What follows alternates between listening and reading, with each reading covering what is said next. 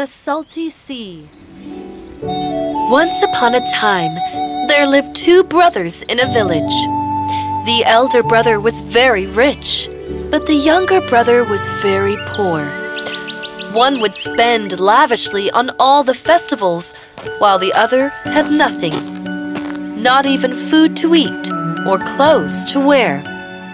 The younger brother's family would often starve, for he hardly had any money. One day, he decided to ask his brother for help. Brother, my children are very hungry. Please, lend me some money. I will buy some food for them. You always come here to beg for money. I have nothing to give you. Get out. Hurt by his words, the younger brother left from there. On his way back home, he met an old man. He was carrying a bundle of wood. Oh, hold on. That must be heavy. Let me help you with it. Oh, thank you. What happened, child? Why do you look so worried? I don't know what to do. My family is starving, and I am unable to bring them food. I am so helpless. What do I do? Is that so? I can help you. If you help me take this bundle of wood home, I will give you something that will make you rich. I will. He carried the bundle of wood and followed the old man to his house. Thank you, child. You can keep this here. May God bless you and make you rich. The old man then handed over a sweet bread and said, Take this and go to the jungle.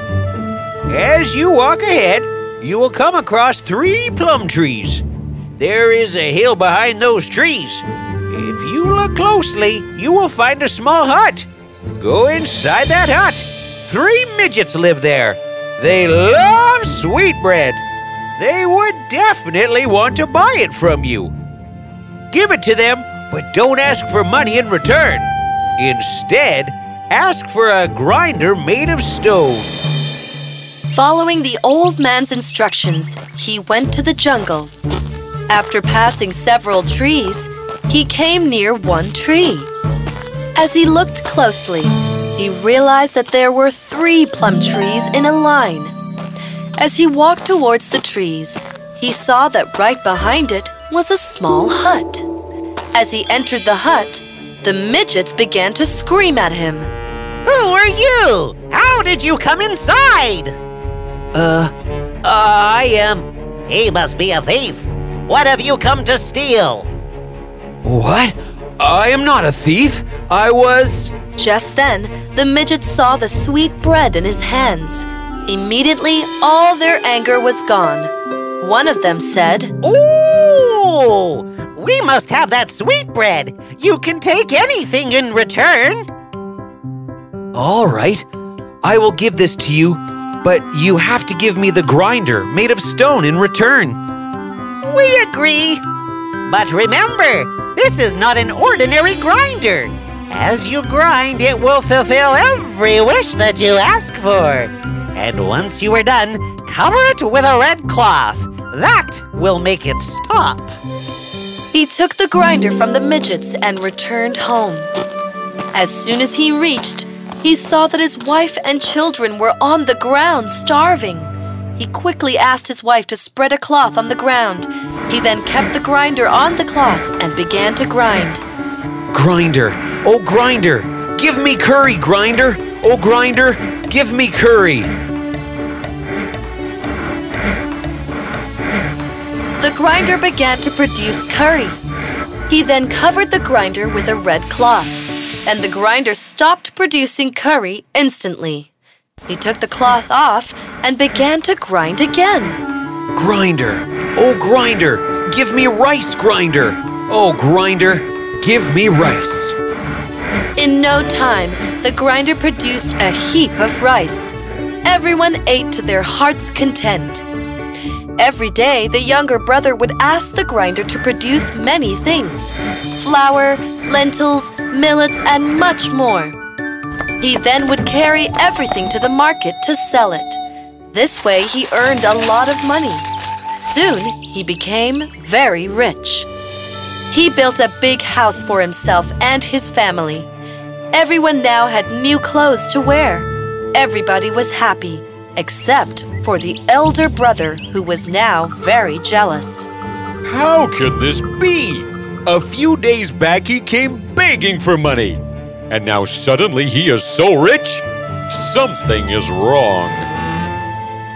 The elder brother hid himself in his younger brother's house to find out the truth. It didn't take long for him to find out the secret. The next day, he stole the grinder and decided to leave the village along with his family. Let's go! Quickly! Move! A little away from the village, there was a seashore. He reached the seashore and left with his family in a boat to go to a far off island. On the way, he decided to test the grinder. Grinder, oh grinder, give me salt, grinder. Oh grinder, give me salt. The grinder immediately began to produce salt. But now, the elder brother didn't know how to stop the grinder. The grinder kept producing salt. The weight was too much, and the boat sank with everybody in it. Only if he had not envied his younger brother, the elder brother and his family could have lived happily. This is why we must not envy others and stay happy with what we have. This is what happens if we demand too much. Don't you compare yourself with your friends and demand for new toys from your parents? Or fight with your friends because they have better toys than you?